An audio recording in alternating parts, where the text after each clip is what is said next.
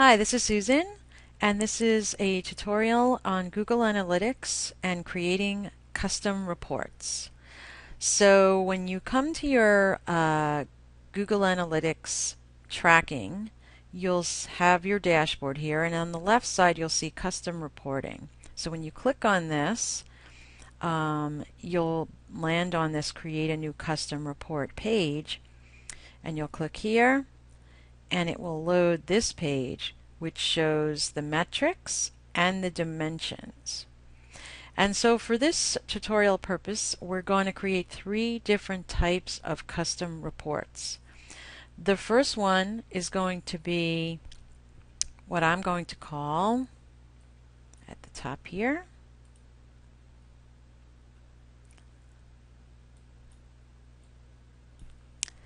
content check.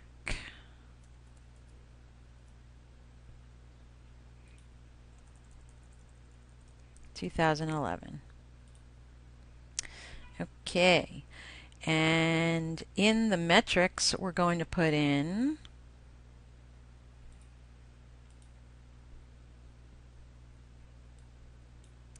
new visits.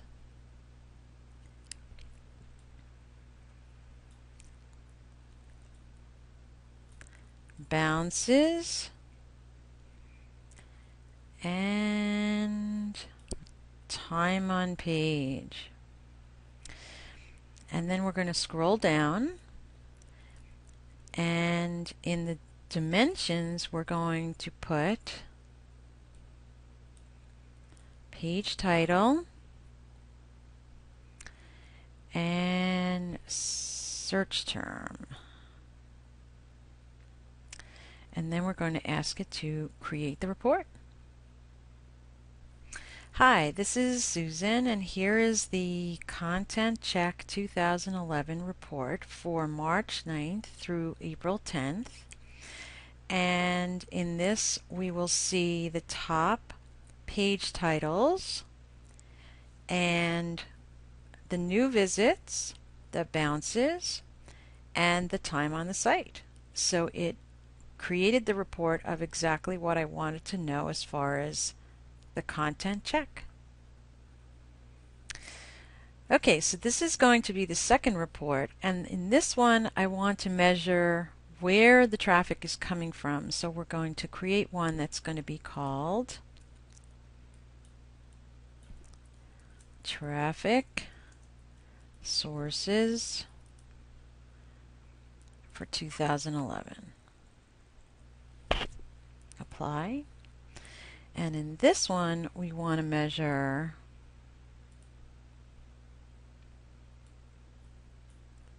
unique visitors and time on site. And then in the dimensions, we're going to put in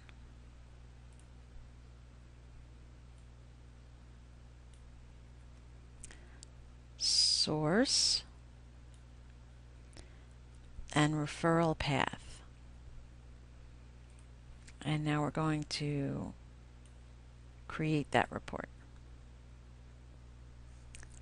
And here is the Traffic Sources 2011 report for March 9th through April 10th. And you'll see it's uh, it says 456 unique visitors and it's split uh, with the Google being at the top and um, see where the success Facebook Twitter um, and it's showing all the top 10 um, sources unique visitors and the time on the site for the particular places where people came from. So uh, it's interesting to see um, that people from Google um, not only were the most, but they were on the site uh, pretty long. Uh, whereas people who came from Twitter are less, and the time on the site was much less.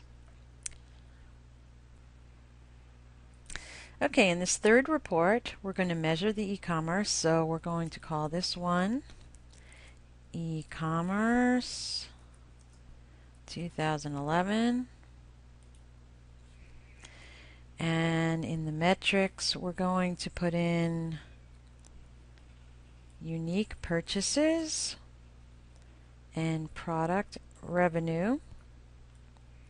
And in the dimensions we're going to put in product and product category. And then we're going to create the report. And here we are on the e-commerce 2011 report and March 9th through April 10th, 2011. Now you'll see it says zero and that's basically because there is no real e-commerce on this site.